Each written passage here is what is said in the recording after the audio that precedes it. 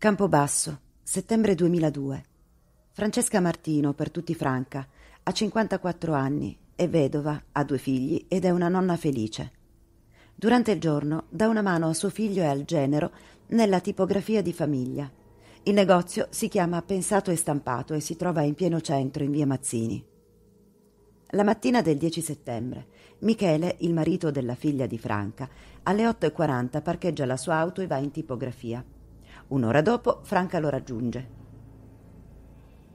Alle 10.40 Michele esce per una commissione, deve anche incontrare un cliente. Chiama sua moglie al telefono. Michele rientra in tipografia intorno alle 11 ed incontra sua suocera mentre sta uscendo. Solitamente Franca a quell'ora si reca a casa di sua figlia. Michele racconta che Franca è rientrata in tipografia intorno alle 13.05 per dargli il cambio. A quel punto lui è uscito per andare al supermercato a fare la spesa. Quando Michele torna dal supermercato, vede arrivare suo cognato, preoccupato perché non ha notizie di sua madre. Michele lo tranquillizza dicendogli che la donna si è allontanata per andare a casa circa dieci minuti prima. Così il figlio se ne va. Poco dopo, però, quando l'uomo ricontatta Michele, dicendogli che è molto preoccupato perché Franca non si trova, Michele gli spiega che in realtà si trattava di una sua supposizione. Il fatto che fosse uscita dieci minuti prima per andare a casa lo aveva intuito, perché in tipografia Franca non c'è. A quel punto il figlio inizia ad angosciarsi perché ha provato più volte a chiamare in negozio, ma nessuno ha risposto. C'è poi un particolare che lo fa allarmare ancora di più.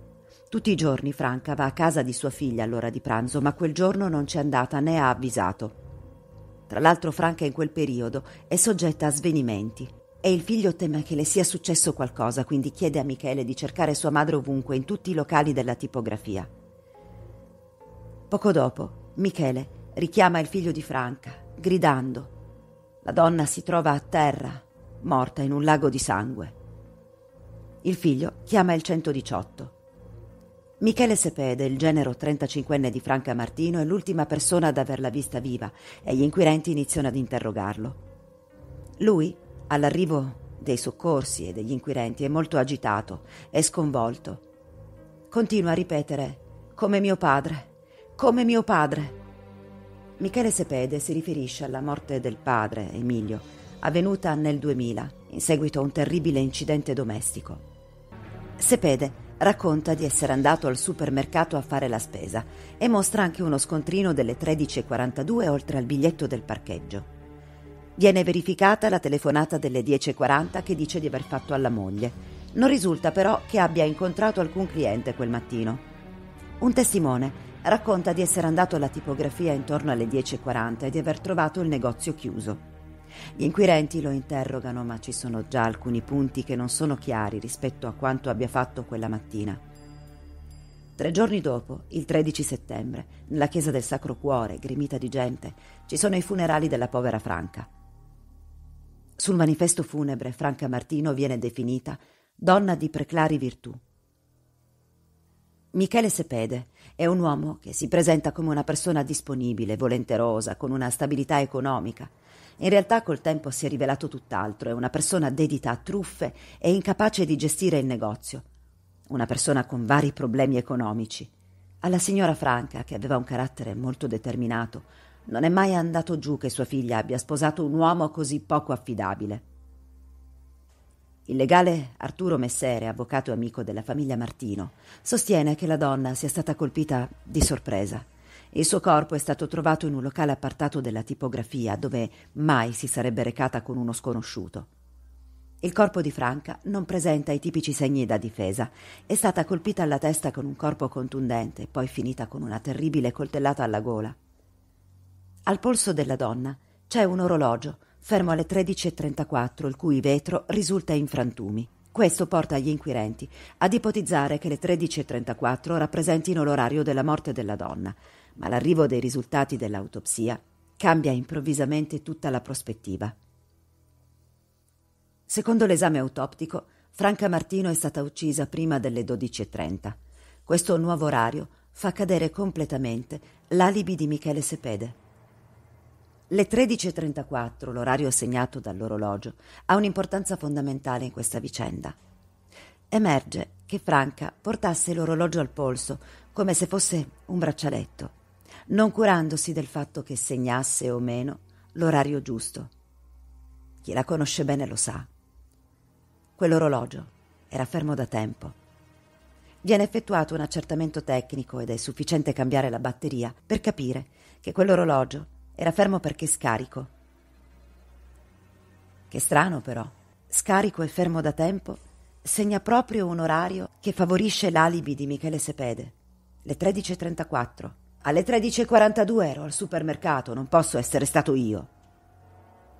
Gli inquirenti sospettano che Michele Sepede abbia modificato le lancette dell'orologio per accordarle al suo alibi. L'ispettore Concetta Simone interroga il medico del 118 che aveva prestato i primi inutili soccorsi a Franca quel mattino. L'aveva intubata, forzando la mandibola e causando la rottura degli incisivi. In seguito a questa manovra, il medico legale aveva trovato la mandibola della signora Franca morbida.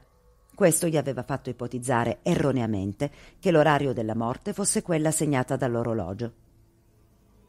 Dunque, la famiglia di Franca scopre che l'indagato per quel delitto orrendo è proprio il marito di sua figlia, Michele, che continua a proclamarsi innocente. C'è un altro particolare. Nella tipografia di via Mazzini viene ritrovata una camicia sporca di sangue. Quella camicia, però, secondo un'analisi, si è sporcata di sangue quando non era indossata. È sporca sul lembo inferiore e non su quello superiore. Sembra che qualcuno l'abbia appallottolata e poi l'abbia sporcata con il sangue della signora Franca. Michele Sepede racconta di essersi imbrattato di sangue nel momento in cui aveva provato a soccorrere Franca. Poi, sconvolto, prima dell'arrivo dei soccorsi, era andato in vetrina nel negozio a prendere una maglietta esposta e l'aveva indossata. C'è però qualcosa che non quadra. Quella mattina, quando il figlio di Franca era andato fuori dalla tipografia per chiedere a Michele, che era arrivato proprio in quel momento, notizie di sua madre. Michele non indossava una camicia, indossava una maglietta. Questo per gli inquirenti significa che Michele aveva già ucciso Franca. Ha inventato quella scusa. Sì, tua madre è uscita dieci minuti prima, stava andando a casa. Per far allontanare suo figlio, forse doveva portare a compimento la sua opera. Forse doveva spostare le lancette dell'orologio di Franca. Michele però continua a dichiararsi innocente. Secondo gli inquirenti, Michele, nell'uccidere Franca, non si era sporcato più di tanto. L'aveva colpita alle spalle. Probabilmente quella camicia si era sporcata solo con qualche gocciolina di sangue di Franca.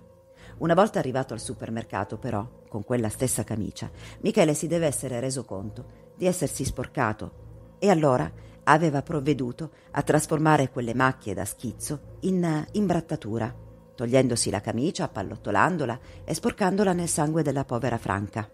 Questo è quanto sostengono gli inquirenti. Il 14 settembre Michele Sepede viene iscritto nel registro degli indagati. Ma c'è qualcosa che ha colpito molto la PM Venditti. Durante l'interrogatorio, la PM gli chiede conto di quell'esclamazione davanti al corpo di Franca, come mio padre, e Michele Sepede racconta che vedendo il corpo di Franca a terra era rimasto sconvolto doppiamente, perché gli aveva ricordato la scena terribile della morte di suo padre, causata da un brutto incidente domestico. Così la PM ritorna al giorno in cui moriva Emilio Sepede, padre di Michele, Mario Oriente, capo della squadra mobile di Campobasso, che fece il sopralluogo per primo nella casa di Busso dove viveva la famiglia di Michele Sepede, racconta che quel mattino del 26 gennaio 2000 la moglie era uscita intorno alle 8. A casa erano rimasti il padre e Michele. Michele era stato visto dai vicini mentre fumava. Tra le 8 e le 9 in casa ci sono soltanto Michele e suo padre Emilio. Intorno alle 11.30 un furgone con due tecnici che devono consegnare una televisione. Citofonano, ma non risponde nessuno.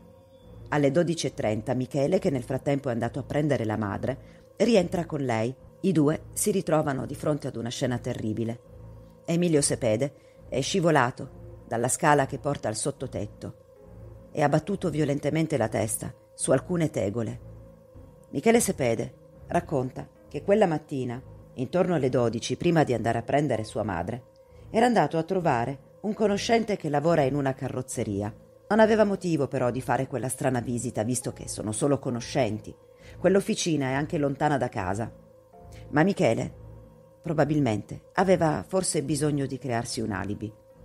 L'analisi dei tabulati e delle testimonianze incrociate ha come risultato che Michele Sepede fosse in casa al momento della morte del padre.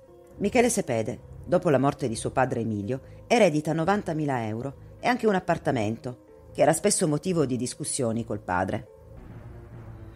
La PM chiede di poter vedere le foto del corpo di Emilio Sepede e le mostra ad un medico legale, il quale afferma che, incredibilmente, le ferite del padre di Michele Sepede siano state chiaramente inferte con un'arma da punta e taglio. La PM Venditti chiede immediatamente la riesumazione del corpo di Emilio Sepede e l'autopsia, che non è mai stata effettuata. Il 2 ottobre Michele Sepede viene indagato anche per la morte del padre. Arrivano i risultati dell'autopsia. Sepede continua a dichiararsi innocente, anzi innocentissimo, dice dal carcere di Campobasso. I risultati dell'esame autoptico sul corpo di Emilio Sepede però parlano. L'uomo è stato ucciso con undici coltellate, una letale al collo gli ha reciso la carotide, proprio come la povera Franca. Anche una lesione da difesa su una mano e lungo le scale c'era un'impronta di una mano sporca di sangue.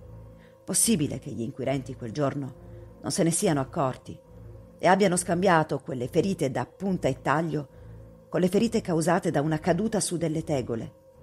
L'autopsia non venne mai fatta, ma a distanza di tre anni ha dato il risultato sperato. Michele Sepede ha ucciso anche suo padre. Emilio è stato aggredito alle spalle con un colpo in testa. A quel punto è caduto e poi è stato finito con quel colpo al collo esattamente come è stata uccisa la povera Franca. Michele ha ucciso Franca Martino per frustrazione. Forse lei aveva di nuovo fatto notare quanto fosse poco affidabile. E ha ucciso suo padre per quei 90.000 euro e per ottenere quell'appartamento che il padre non intendeva lasciargli. Sepede, in corte d'assise, viene condannato a 30 anni. La PM Venditti, però, fa appello. La pena deve essere più aspra per il riconoscimento delle aggravanti. In secondo grado e in appello, il 17 febbraio del 2007, Michele Sepede viene condannato all'ergastolo con isolamento diurno per sei mesi. La Cassazione rigetta le richieste della difesa e Michele è definitivamente condannato all'ergastolo. Queste sono le parole della PM Venditti. Credo che si sia trattato di un'affermazione di giustizia più corrispondente alle caratteristiche di gravità del caso.